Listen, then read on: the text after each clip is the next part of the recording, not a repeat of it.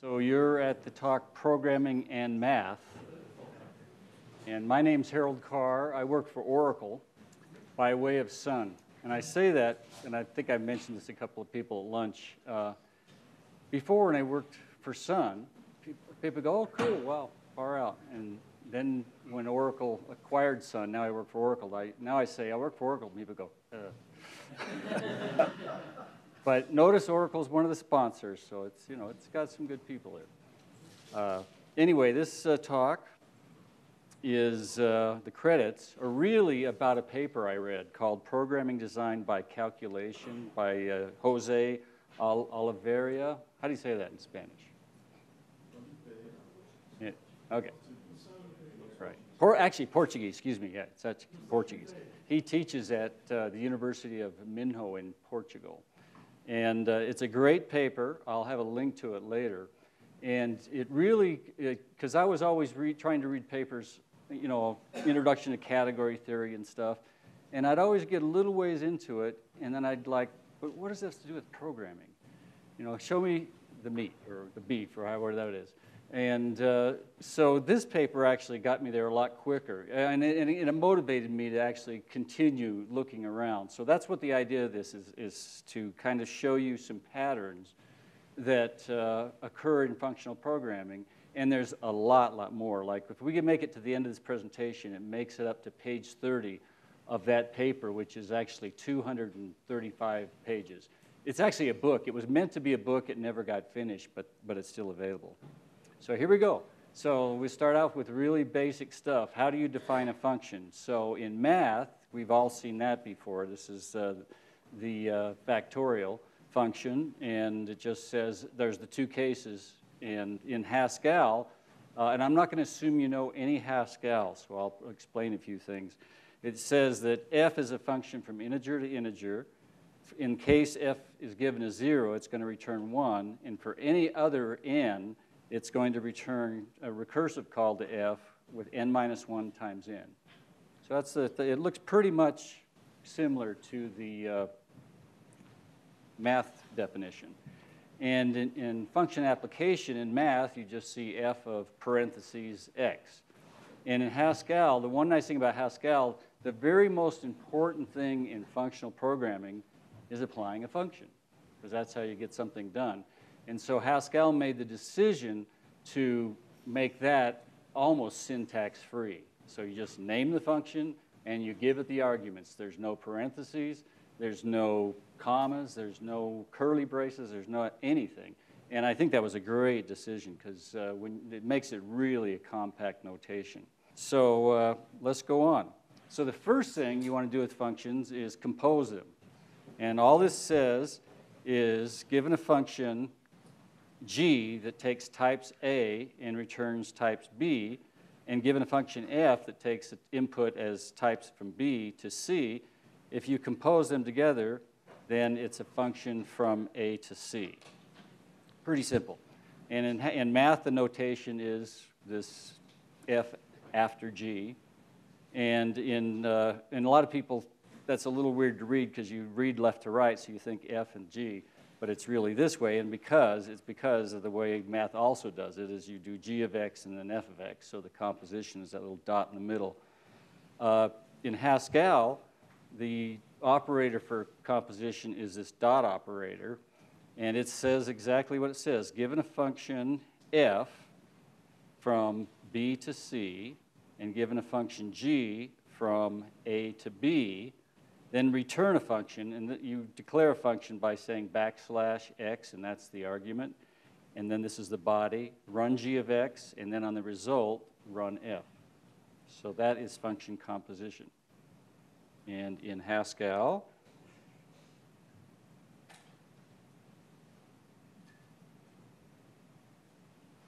here's where I've composed, made, I've, got, I've defined this function c, and it says, given any number, A, I'm going to return a number. And what I've done here is first, there's the dot operator, and I'm going to call function times 99. This is another Haskell uh, notation. It's called sections, and it's a partially applied function. So it's some, whatever you give it times 99. So, you know, the, the times operator takes two arguments, and it's already been given one here. So whatever you give it is going to be times by 99. And then that's going to be followed by whatever the result of that is by plus 10. So that, once again, is pretty... Uh,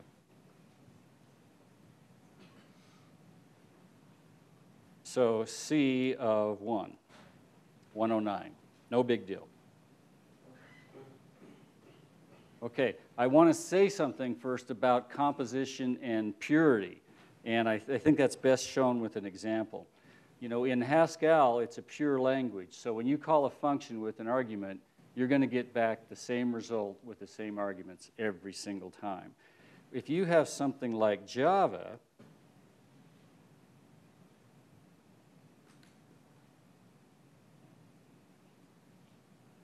and uh, I, here's these two functions again. Here's f, which takes an int and returns an int. And here's g, which takes an int and returns an int. And if I call them by first calling g on 1 and then calling uh, f on the result, well, you think I could maybe get the same result. But look what they're really doing. They're actually uh, calling, uh, actually, let me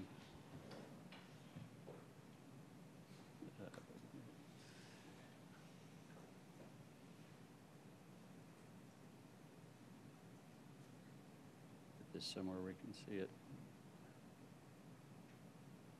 They're basically doing I.O.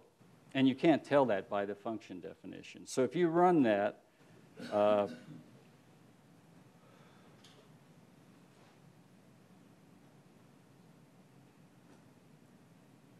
I want to have to type it. Okay, you run that, you get something different every time. So let's, in, let's look at the same thing in Haskell.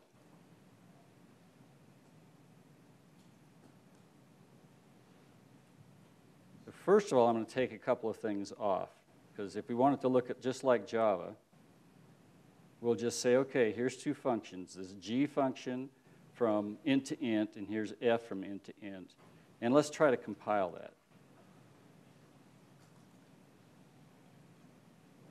GHCI is the Haskell interpreter. So let's say load composition viz purity.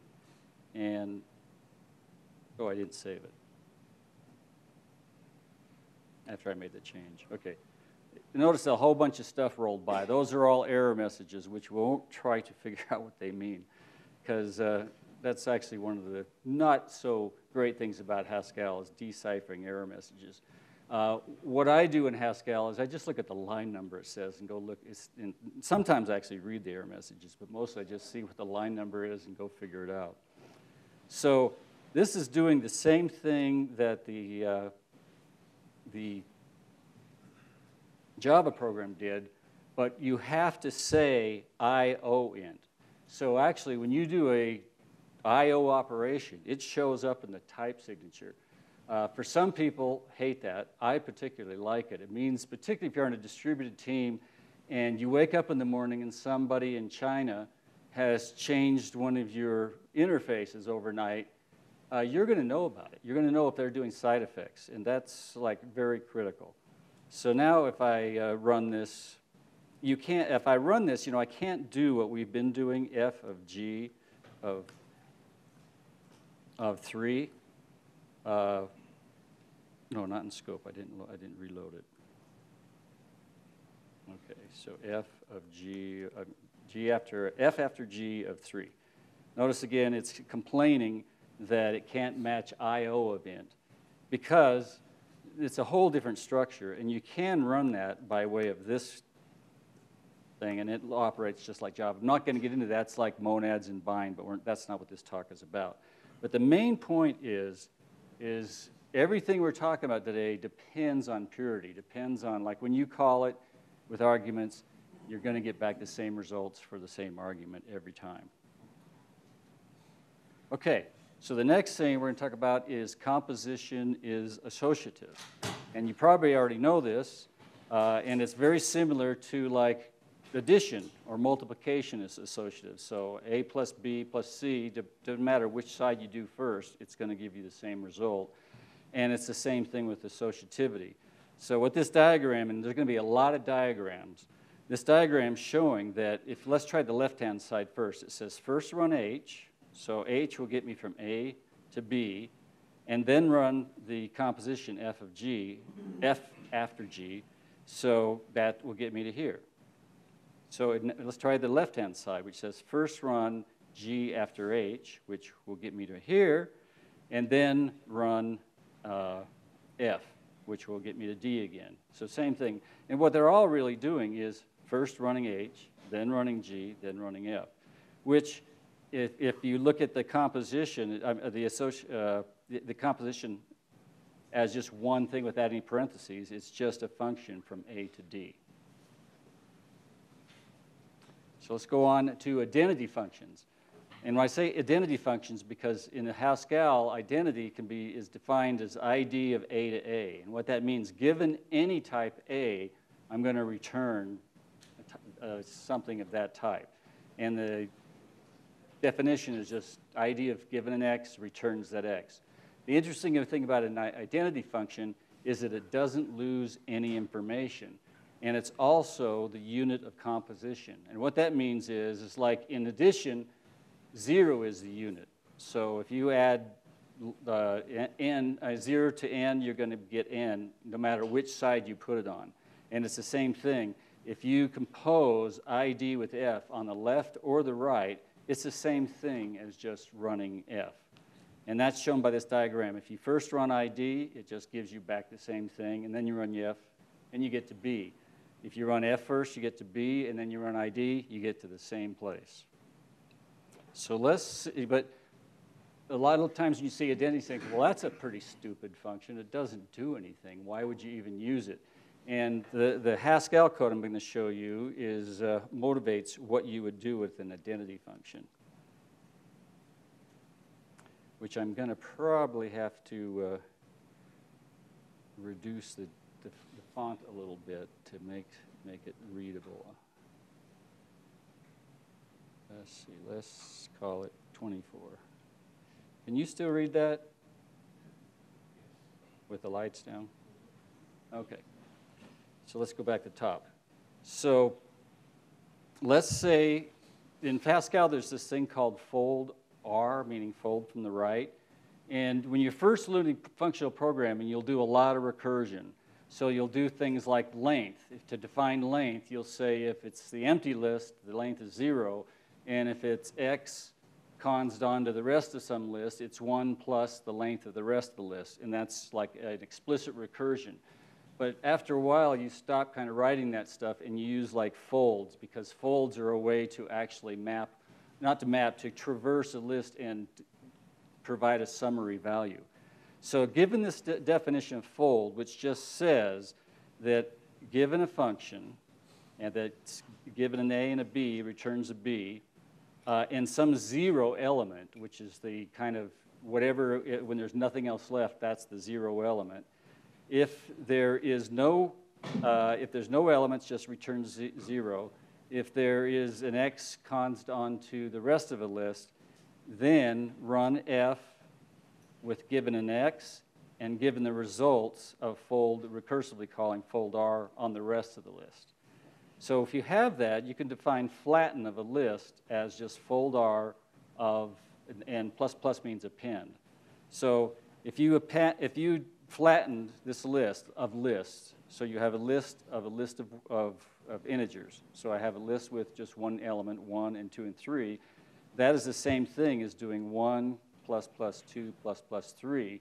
And that concatenates them together, and it looks like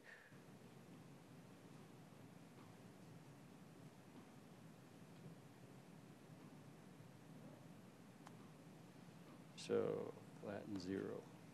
So it just flattens them down. Great. Uh, but the nice thing about that, you didn't write explicit recursion. You didn't write flatten by calling itself. It just used, reused fold R, which is a good idea to use fold R as much as possible because there's lots of, compiler knows lots of tricks to do. So now let's say we have this thing called flatmap. It's another thing which is uh, given a function that given an A returns a list of B, and then given a list of A returns a list of B.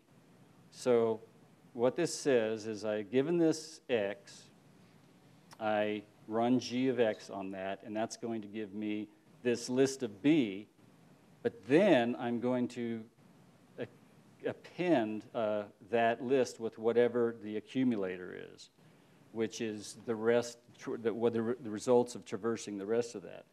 So like flat map, what that looks like is if you called flat map with a function given an x returns x times 2 in a list, it is just going to do basically this. So 2, 4, 3. So the main point is if you have flat map already defined, then you, instead of defining flatten up here like this, you can define flatten with just say flat map of ID. So the, the point, and, and the, this is the big point, is a lot of times you'll have a lot of functions that are already doing some pretty interesting things for you. And to, to use those in other places where uh, you can use ID functions so they can do some work for you. And here, let's see how that works. So if I call flat map uh, with ID of this 1, 2, 3, which is, is really going to be a flatten. So it, I replace, and this what I'm doing here is basically equational reasoning, and that just means you're replacing likes with likes. In other words, if this, like you do in, in the algebra, if you say uh, anything in algebra, when you replace something with another equality, it's, a, it's the same value. So the definition of flat map, ID, is fold R with this function, but with the ID plugged in there, and then the arguments. So now let's do the first step, and that says it is this function given the first element of the list, which is 1, and then the uh, rest is just that same definition, but now we've taken off, and this is the tail of the list.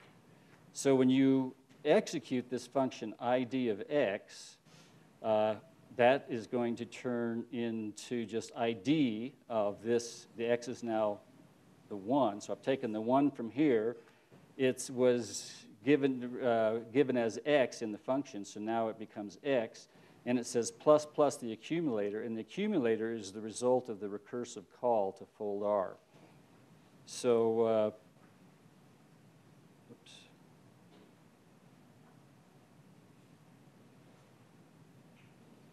place. Okay, so then I do the next call, which just says ID of 2, uh, and it does the same thing, turns that into a 2, and then it's a recursive call, and ID of 3, and we finally end up with just 1 plus plus 2 plus plus 3 plus plus the empty list, which was the zero element we gave it. So the, the point of that little uh, digression was to say ID actually can turn out to be a useful function when used in combination with other higher order functions. Okay, constant functions, the opposite. And remember, ID didn't lose any information. A constant function loses all information. And in Haskell, a constant function, there is a thing called const, and it's a function of type, given an A and given a B, it returns an A. And what that the definition is, const of x, and it doesn't matter what the second thing is. You don't need to give it a name, so that's what the underscore means. Just return the x. So what the constant function does is lose all information. So here's a constant function, c, uh, and says given any a, it's always going to return uh, a character. So you can say const of the character c, and if you apply that to anything, the, re the resulting function, it's going to be a C. So let's take a look at that. This is kind of the same thing I'm about to get to is, is why is, is, that, is that another really dumb function? It doesn't do anything. Why would you use it? Well, it's the same, same idea as you can use it with higher order functions to get work done. So let's say you've defined length, which I was mentioning earlier. So you can define length with explicit recursion by saying length of of the empty list is zero. The length of x cons onto the tail of a list is 1 plus the length of the tail of the list. So that's the standard way you do it when you're first learning functional programming. But let's say you have fold left, which is defined this way. I'm not going to drop down into the definition, just, but it works similar to fold right uh, in terms of what it's going to do for you. It just operates differently. So you can define length now as fold left of const composed with the successor function. So that's pretty cool. Const actually can do something for you. So let's see how that works. This is what it looks like. If you say length of a two-element list, then it turns into fold of this composition, const composed with successor, of zero. And th so that's the definition, just replacing length. So then when you apply it once, you say it is now, the second call is fold of the same, it's always going to be this is the function that keeps getting passed on and on through every recursive call. And then here's the first application. It says, apply this function, which is the composition of constant successor to 0 and a. So when you do the successor function, which is the one that runs first, it turns that 0 into a 1. And then when you run the const on 1 and a, it ignores the a, and you have a 1. So now, when you go through for the next element, you say the same thing, const of 1, and it basically just does the same thing. It applies successor to 1, turns that into a 2, ignores the b, returns 2. So same thing about constant functions. They don't seem to do very much, but when used in higher order functions, they can make, make those higher order functions work for you. And you can kind of look at constant uh, and ID functions as limit points. One doesn't lose any information, constant function uh, loses all information, and, and then all other functions are going to lose a little bit of infor information. And the, the, the, the functional program can be viewed as the art of transformation transforming or losing information to fit a certain context. Okay, so now we're going to look at a bunch of laws uh, that go along with this. And the idea of this, the rest of this talk, is to get you used to thinking, you know, I've, I've heard a million times, programming and math, programming math, or category theory, like, what does that really mean? And the idea, it means just looking at this as your functions mathematically. And that's what the rest of this talk will do. So constant fusion, the, uh, the, this law called constant fusion just says, given a function, f of a to b, and given a constant function, uh, and then given an, uh, excuse me, given that and given an a, it's just going to return c. In other words, it just ignores the f. So let's look at that in constant fusion. Not constant confusion. Constant which I've, when I've looked at these, these after a while I get dizzy looking at these arrows because it's going to be those, those, diagrams, but they actually do something. So constant fusion, this is a slightly different uh, uh, definition because I wanted to pass in the constant function. But what it says is, if given constant fusion, here's a, a constant, which C prime is this function up here, which says always, no matter what you give it, always return the, the character C. And I'm going to compose that with some function f. In this case, the f is just plus 1. So given any number, add 1 to it. So when you run C0,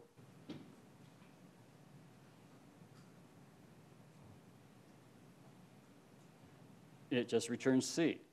So what constant fusion is saying is that you can just ignore the application of f and just run const directly. Same thing. In other words, here I've given it this plus one function, which does some work and then gets ignored. In this case, it just gets ignored. Uh, this is the same thing. Let's go on because I'm realizing I'm not going to make it through this talk. Okay, isomorphisms. Uh, isomorphisms you probably already know about. Uh, it just says that given a function f from a to b, then it has an inverse function uh, from b to a And the law is that if you compose, eh, uh, run f the in, inverse first and then compose with f, that's the same thing as id of b.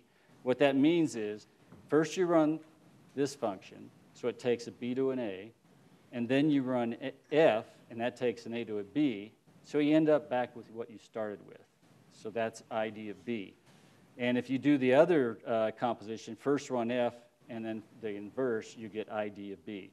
And what isomorphisms do, and we do this as programmers all the time, it converts between programs. How many people write JSON on the wire based on uh, some data? That's you're writing some sort of isomorphism from one data structure to another, and object relational uh, mappings, all those kind of things. We, matter of fact, I always joke with people like, most of the things that we do as programmers is transform formats. Somewhere, somebody's piece of program is actually doing some calculation, something actually useful. But the rest of the time, we're like, oh, well, I'm taking it off the wire, but now I got to call this other service, and it needs it in this format, so I transform it to that. And now I got to call this other thing, and it needs some other format, so I transform it to that. Finally, somebody does something, and then I got to transform it all the way back out to whatever I told the client I was going to give it. So turns out uh, doing transformations is pretty ubiquitous. Uh, products. Okay, so products. This is, uh, we were, we've been looking so far at compositions of functions. And composition is where the output of one function matches the input of another function, and you can hook those together. But what if they're not composable? In other words, the outputs are not the same. Well, for products, it's a case where uh, let's look at this one first. Now let's look at the, the, the Haskell. It says, given an F, which goes from C to A, and given a G going from C to B. In other words, they share the same domain, but they have different codomains. And then given a C, what can you do with it? Well, I'll give you a pair of outputs. And this, this notation with the parentheses here actually means I'm going to give you a tuple and it's going to have a result type of A and a result of B. And what that looks like is, here's pair definition. Given an F, given a G, and given some C, just execute, uh, call F with C, call F, G with C, and return that as a pair. And we're going to use this other notation here in the diagrams, which is the same thing. So these uh, angle brackets means pair, which is a, given a C, return the product of A and B which in the definition looks pretty much the same. So let's look at products.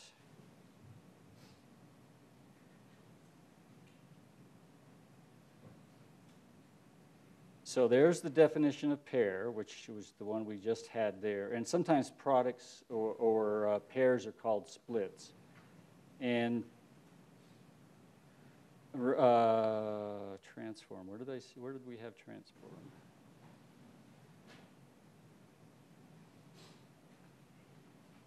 I think I went, went to the wrong file. Oh, products.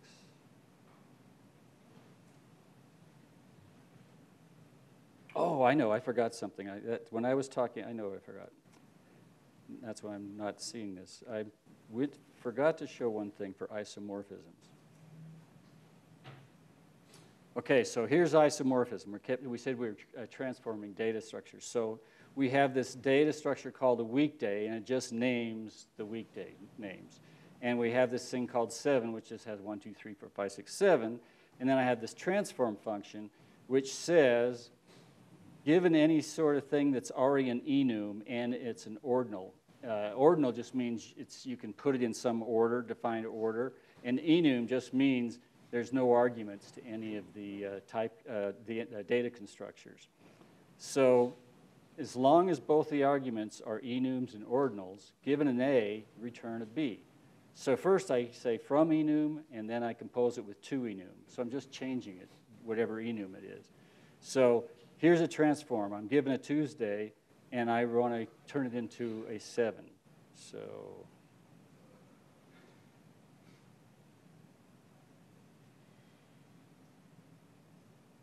So if I say I0 you see, it does do that.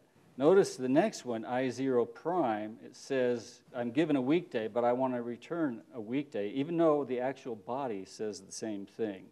So if I say I0 prime, it gives me a Tuesday, the same thing. And that's because the, you've told it what type you've wanted it. I want a 7 in this case. I want a weekday in that case, even though I'm giving it a weekday.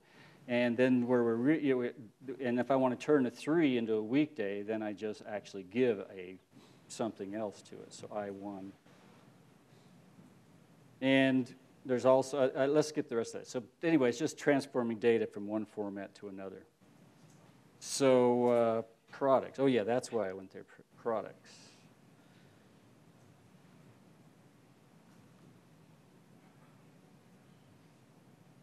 So this one is saying, given the show function and given the transform function, and transform was the one we just looked at uh, on the on the last slide, uh, the last file, and uh, if I run that, it's going to give me. So they both have the same input, and that is we don't know what it is. It's a C, but it's got to be an enum and an ordinal. It's going to return. In this case, I'm saying it's going to be a seven and a string. So show is Haskell's way to turn any data structure into a string, and transform is what we just saw. So if I say P0 prime,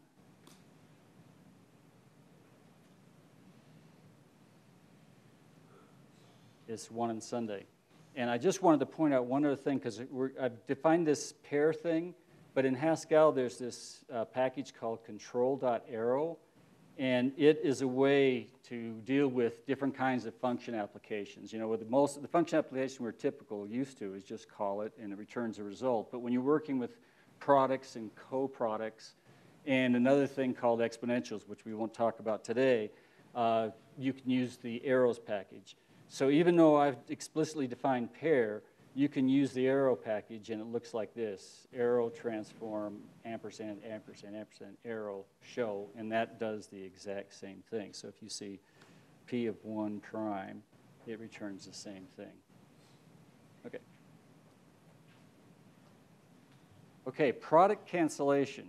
So if you've run that pair of functions so given a c run f and g on it and you get back the pair product a and b and if you need to get just one piece of it, you call first or second. No big deal there. Or, you know, it's like a car and cdr in Lisp, or first and second. Uh, there's another piece here called the product of two functions.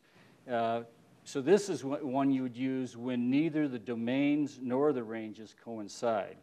In other words, you're given something that is a C and a D, so it's a pair of types C and D, and it's going to return types A and B. So what it does is it, when the function runs, here's the, the definition, f times g, is first you take the first element, which is C, and that's what A takes, and then you run f on it, and then you take the second element, you run second on it, and run g on it, and then because it is uh, in a pair, notice it has this pair notation, uh, it returns the product of that. So you come up with an A times B.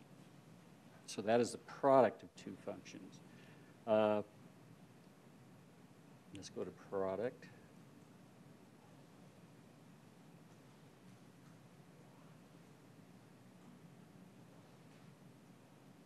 So there's the definition of product. And what this is saying is uh, it's going to take an integer and a string, and I'm returning a string and an integer. So I'm just reversing the arguments. Uh, oh, well, I'm doing more than just swapping arguments. I'm doing something too. But at the types, I'm swapping the, the types. So what it says is uh, for the one side, I want to first add, I mean, append one to it because it's given a string, so I want to append one to whatever string I give it. And then I'm calling read. Read is the thing that will turn string representations of Haskell objects into Haskell objects. And then on the other side, I'm saying, given this, the uh, uh, integer, times it by two, and then show it, turn it into a string.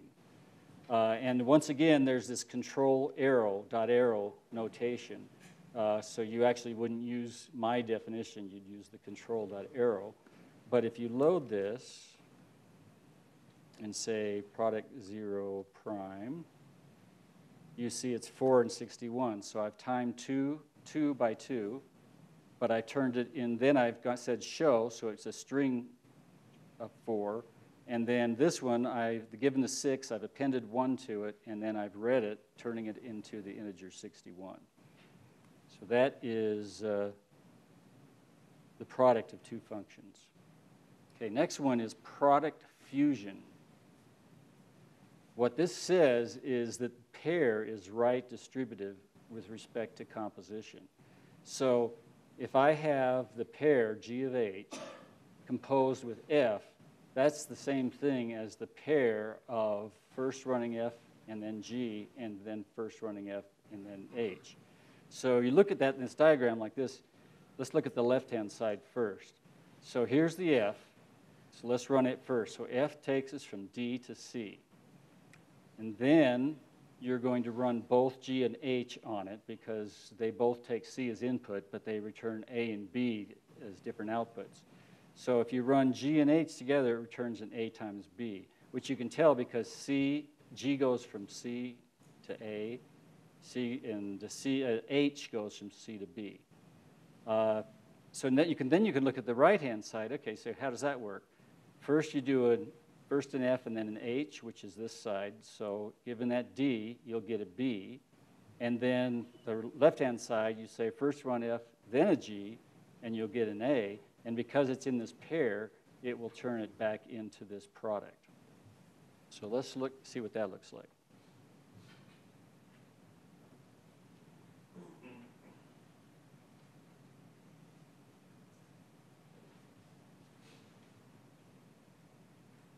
Okay, so there's the definition of uh, product fusion left and right, which uh, it'd be easier if I could switch back and uh, had them on the same screen. But uh, product fusion left is the pair composed with F, and the right side is the pair of the two compositions, which you can see, the, here's the left, the pair of G and H composed with F, and the right-hand side is the pair of the composition of those two. So here's some more equational reasoning, which shows you, if you look at all these things, uh, product fusion left is really just the pair running this pair of times two and show, and then the digit to. So let's first you run digit to on this digit three. It turns it into a three, and then you say show of three, which gives you the strings three, and then the times two of 3, and that gives you 6. That's the left-hand side. And if you do a similar thing with the right-hand side, you see it's the same thing. So if I actually look at and say uh, product fusions, they all return the exact same thing. Okay. Okay, here's another thing. Uh, we're not going to go through this, but there's a thing called times absorption. And what this says, we, the last thing we showed that, that, uh, that it was that sums are, are right distributive with respect to composition. That's not true about left distributivity, but it does hold when f is the product of two functions. So if f is the product of two functions, then if you get that composed with G and H is the same thing as the pair I composed with G and G composed, J composed with H. Now, one thing, uh, if you really want your programs to be super correct, you really want to know things like, is that really true? I can, you know, it's easy to type that out. Well, actually, it's not that easy. It's, it's hard in LaTeX. it's a mess. But uh, you, so what you can do is, is, is uh, some reasoning on it and that is, given this definition, if you look at the definition of the product of two functions and replace that, it turns into this. And then if you use that other law we looked at earlier, time, uh, product fusion, it turns into that. And then if you turn, uh, remember that uh, composition is associative, you can move the parentheses around. Once they're moved around, then you can use product cancellation and you end up with the right-hand side. So don't expect anybody to look at that. Although if you go through this paper on your own, there's a bunch of exercises. You end up doing things like this, which are pretty fun. Okay, so the product fusion just derived looks like this. If I'm given a C and I run the pair G of H, G and H, it's going to run G, which gives me a D, and H, which gives me an A, and then you're going to have the pair of those. That's what that means. And then I'm going to run the function uh, A time, a, uh, I time, product J, and that is going to run both of these. It's going to run I on D and J on I and give me A and B. So that's all that said, and there's different ways to get about through this diagram. Let's keep moving. Product absorption. I'm going to skip that file because I want to get to co-products. Uh, here's something about uh, products and projections. It says if you're given uh, I and first, that's the same thing as first composed with uh, the product of two functions. And what that means is you don't really need to even evaluate J because you're going to just take first on it, so you can skip it. And the same thing says the same thing about uh, J. I'm going to skip past all the rest of these. Uh, this one's actually, yeah, let's go to this one. Reflection just says, uh, product reflection, that if you give a pair, but the pair happen to be the functions first and second, it's just like giving ID uh, to it because you're going to take the A, you're going to run first on it, and then you're going to take B, and you're going to run second on this A times B, and then it returns the pair. So it's just uh, an identity. And here's another one of those equational reasonings. It says that uh, product is commutative. Uh, and once again, you can go through the uh, derivation of this by using the axioms and the theorems that we've already uh, looked at. What this is really saying is that uh, uh, products, are when you swap the fields in a record, it doesn't really mean anything about the information there. It's just in a different order, but no information is lost or gained. And I'm going to skip this and get to co-products. Okay, so products, if you remember, were when you have functions which take the same type as input but they give two different types as outputs. So they both take an input C, and one gives back an A and the other one gives back a B. So instead, you, you can run them both and you get back the pair. What coproducts are is you're given an A or a B, and these are labeled. So it'll say, in, in Haskell, it's convenient to say left or right. So it's either, if it's an A, it'll say it's a left A, and if it's a right, it'll say it's a right B. And then, depending on the, the definition says, if it's a left A, it's going to run the F function. If it's a right, it's going to run the G function. So, and if you look at that, uh, it's similar, right? This one, it's just, uh, you flip these around. So instead of A times B returning a C, it is a or B returning a C. So the main the co-products look very similar to products. So let's go back to that one too, the diagram. Because you have the C, it gives this, and then there's a way to get the elements with first and second. And if you go to this guy, instead you're given a left or a right of A, and then you return a C. So it's just kind of the opposite. Let's see that in Haskell with either.